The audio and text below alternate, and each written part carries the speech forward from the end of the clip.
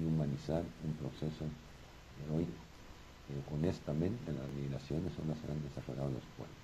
Estados Unidos no se hubiera desarrollado nunca si no hubiera sido por los migrantes. Europa igual. entonces yo creo que ese trabajo debe ser de todos los días, debe ser de mucha atención, de mucha preocupación. Yo veo en estos tres años, siete meses de gobierno que ha ido aumentando la, atención hacia el migrante con todas las carencias, pero ha ido aumentando eh, la videoconferencia entre los familiares de Guatemala con los que están allá, me parece un programa bien, bien humano y bien digno.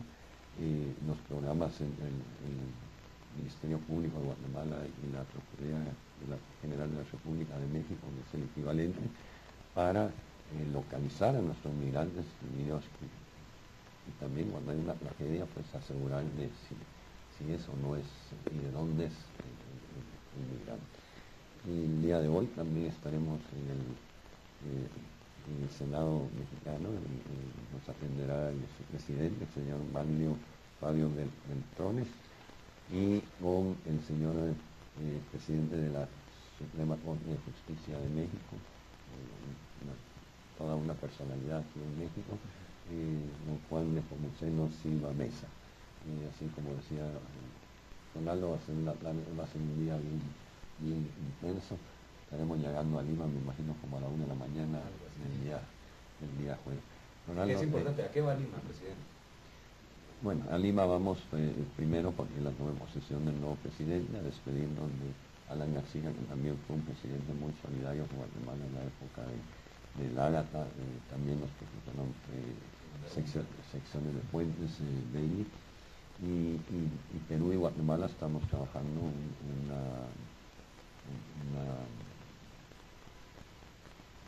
un tratado de libre comercio que creo que es importante eh, con Perú en particular pues tenemos eh, nuestras culturas, que creo que la parte cultural y de pueblos indígenas hay que intensificar eso y es parte del mensaje que queremos llevar al presidente Humala.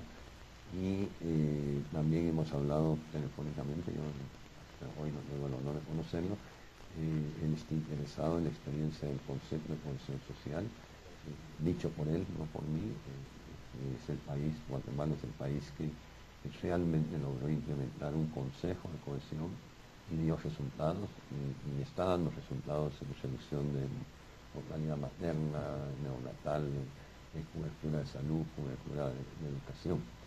Eh, y ahora vamos a, escuchar algunos de los mensajes de nuestros oyentes. Así es, eh, Mariana dice, buenos días, presidente, quisiéramos saber qué implica esta visita a México y esperamos que se aborde el tema migratorio con el gobierno mexicano. Ya de alguna manera usted nos lo ha explicado ahora. Juan José dice, México y Guatemala han tenido buenas relaciones, así que esperamos que el gobierno mexicano colabore con Guatemala en el tema del crimen organizado y el narcotráfico. Carmen dice, buenos días, se está realizando una caravana de familiares de inmigrantes centroamericanos para hacer conciencia sobre la gente que migra a Estados Unidos. Hay que considerar seriamente ese tema tanto en México como en Estados Unidos. Victoria dice, Buenos días, presidente. Qué bueno que España al fin conocerá crímenes de mujeres que se realizaron durante la guerra interna en Guatemala. Esperamos que se haga justicia a esto porque van a explorar algunos de los casos donde hubo femicidio eh, durante los setenta y picos y ochentas en, Guatemala. Álvaro dice, buenos días, presidente. Aún se está beneficiando a trabajadores guatemaltecos con el permiso temporal que México otorga a nuestros paisanos. Agradece por la atención. Y Patricia dice, eh, señor presidente, qué bueno que el Congreso ya está aprobando los recursos. ¿Qué piensa al respecto? Y la última dice, ¿qué piensa, presidente, de la captura de varios exmilitares involucrados en violaciones a los derechos humanos durante la guerra? Bueno, sí, fueron bastantes mensajes. Bueno, el tema migratorio con México es un tema prioritario y es un tema permanente. Creo que yo no lo veo como un tema de cada caso, sino que es, un, es un tema permanente, profundo, y yo diría de, una atención constante. En el caso de la caravana, creo que todos tienen derecho a ir a buscar a sus, familiares, Dios quiera, eh, haya sorpresa de que, eh, no estén eh, pasando penas o, hayan sido asesinados. en el caso, la, importancia, ya la dijimos hace un ratito, de esta visita es consolidar procesos que hemos traído prácticamente en el 2007, yo no era presidente en funciones, pero ya era electo, se empezó toda una relación muy fuerte con, el gobierno mexicano y con algunos gobiernos estatales en, México, el caso particular de Chiapas y Veracruz, Campeche, nuestros vecinos, eh, Tabasco, con Tabasco vimos el, el, privilegio de abrir la frontera, ya una frontera oficial con Tabasco y Seibo. Eh, en cuanto al avance en el Congreso, yo diría que se ha avanzado en esperanzas. Ahora eh, ver si el día, en estos días, esta semana, se avanza en lo concreto, que se autoricen los préstamos, que, se pueda eh, garantizar el financiamiento de un presupuesto que se autoriza en noviembre del año pasado, pero no se autoriza su financiamiento. El presupuesto sin financiamiento es casi como, como día sin sol. Así que y había en la última, era, ah, eh, ha habido reacciones fuertes respecto a, las capturas por masacres y por delitos de lesa humanidad. Aquí es importante que los oyentes, la justicia es igual para todos. Yo he sido un presidente que ha respetado la independencia de la justicia. No es el presidente Colón que está persiguiendo a, ex eh, funcionarios de gobierno o a ex eh, miembros de, los equipos de seguridad del Estado. Es la justicia. Se firmaron acuerdos de paz, se, hizo toda una historia, eh, una, memoria histórica de lo que pasó en el conflicto. Hubo más de 400 masacres, eh, fueron violaciones a los derechos humanos. Y lo que está sucediendo ahora es que yo leí algunas declaraciones de un testigo que estaba precisamente desde, México y, me llamó la atención una expresión que, salió en la prensa de que lo hacía por conciencia y que lo hacía porque las, víctimas, los, los, parientes tenían derecho a saberlo. Entonces, eso serán los jueces, los fiscales, quienes determinen si hubo o no hubo, quién es el responsable y todo, pero creo que ha habido avances importantes. En Guatemala, en, mi periodo, se rompió el paradigma de la impunidad.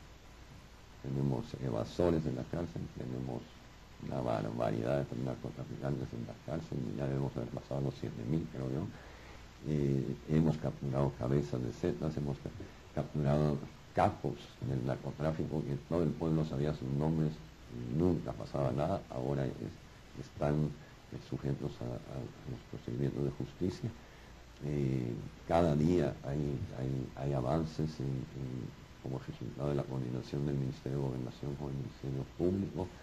Eh, hoy anunciamos temprano la captura de este Cherry, es verdaderamente un criminal que pues, no estábamos desde el, estado de, sitio y alta de la paz en diciembre, hemos estado taloneándolo porque es realmente una persona que los jueces determinarán, pero por ahora no va a estar asustando, extorsionando y amenazando a, los pobladores de, Alta Verapaz. Eh,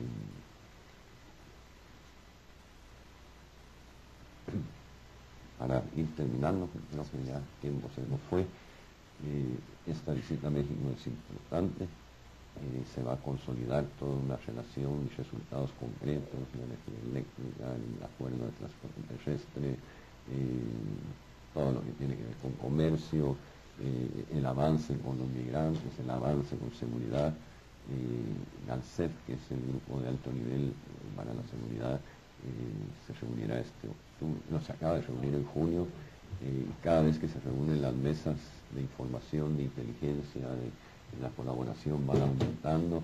Eh, eh, la plataforma México, por ejemplo, es una plataforma de información importantísima para seguridad en Centroamérica y Guatemala.